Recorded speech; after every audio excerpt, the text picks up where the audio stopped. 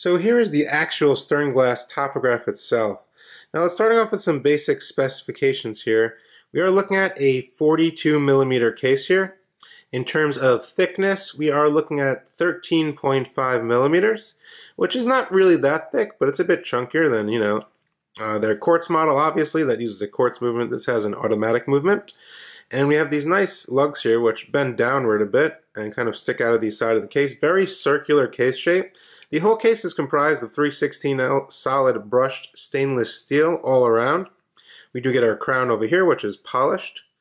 And it is a pull and push crown with 5 ATMs or 50 meters of um, water resistance there. Now, some other stuff about this watch. Well, the movement inside of this watch is the Miyota 821A, and that's basically an upgrade from the Miyota 8215. And we even get a glimpse of it through the uh, exhibition case back here, which I believe is sapphire, held down by actual real screws. So we get one, two, three, four, five, six screws hold down this case back, which is very German-like, and a lot of German watches use screws to hold down the case back. It looks a bit more professional and a bit neater in my opinion. So here's a little glimpse of the movement. As you can see, this has the hollowed out rotor, some nice stripes on the main plate there, and you can really see the inner workings of the watch. Now, in terms of accuracy, I have been getting about plus 11 seconds a day, which is pretty good for a movement like this. Uh, so it's definitely okay in my book. Now, the actual caliber does uh, have a 42 hour power reserve, which is very good.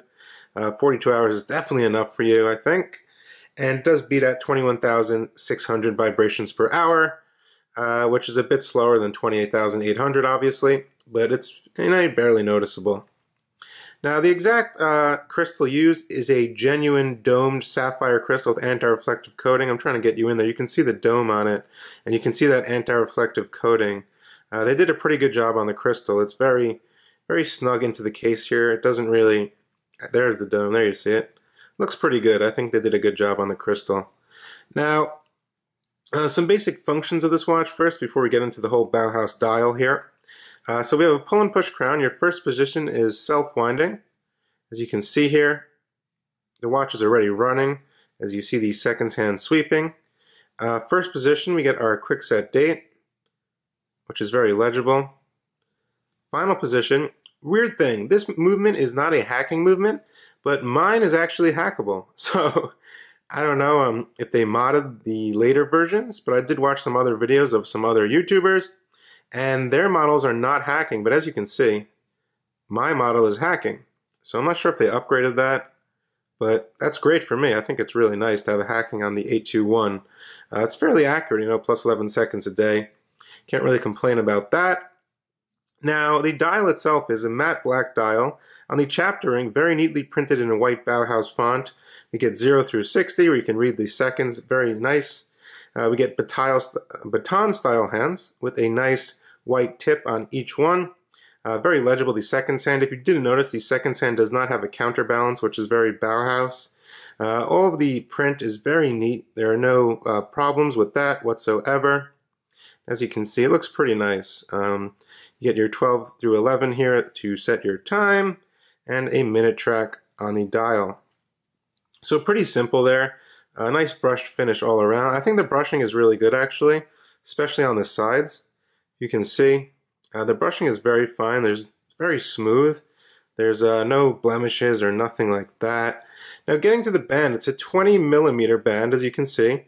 Now this is the Milanese style bracelet and I do like these ones because you can just pop this up here and just adjust it to whatever size you want. So straight out of the box, you know, you can fit it right to your wrist perfectly. And as you see, the buckle itself is signed with that same font, Sternglas, which I think they did a very good job on the buckle. I like, I like the buckle. Also a nice thing is the quick release. So you can just change straps very easily. Pop this open, comes right off. No need for a spring bar tool, which is pretty cool. Uh, there is no lume on this watch, if you didn't notice. Most Bauhaus style watches don't really contain uh, much lume. Uh, that's just how it is. But overall, I think they did a very good job on this watch. And as you can see, it looks pretty stunning on the angles with that domed crystal. Right now, I want to throw it on my 6.5 inch wrist, show you what it looks like on the wrist. So there she is on my 6.5 inch wrist. Uh, lug to lug, we're looking at 51 millimeters, and like I stated earlier, 13.5 millimeters thick. Does fit pretty nice on the wrist, and I think it's due to that circular case shape. Even with that longer lug to lug, it still fits my wrist pretty good. There's the Milanese band as you can see with that nice polishing over here where it connects.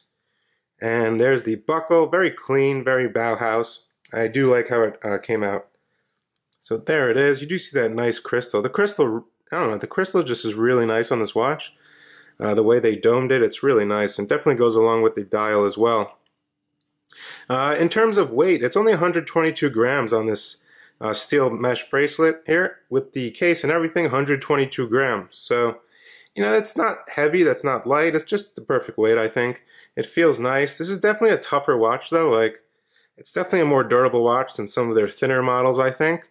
And that's a good thing. If you want a bit more of a masculine watch you can kind of beat around a little bit uh, which is pretty nice also, they did give me a discount code to share with you guys, and I will not make any commission from that code. The code is WatchAddict25. Now, the price of this exact model is 316 US dollars. That's without the code. And you can take off 25 euros or 28 US dollars, which will bring it down to 288 US dollars with the code WatchAddict25. So definitely take advantage of that if you're looking for something like this. If you want an affordable style Bauhaus design watch, from a German brand. Not, as, not necessarily made in Germany, but it is a German brand. Uh, definitely something to take a look at. And I look forward to what they have in the future. Uh, they come out with a lot of models lately, and I think they're doing quite a good job at, you know, what they're trying to do in terms of Bauhaus design, which is, uh, you know, something new uh, for the micro brand world. There's not many Bauhaus design style brands, and I think they're doing quite a good job. So once again, this is Watch Addiction Watch Reviews. You can check out the full written article on this watch at watchaddictchannel.com. You can also follow me on Instagram at watchaddictchannel.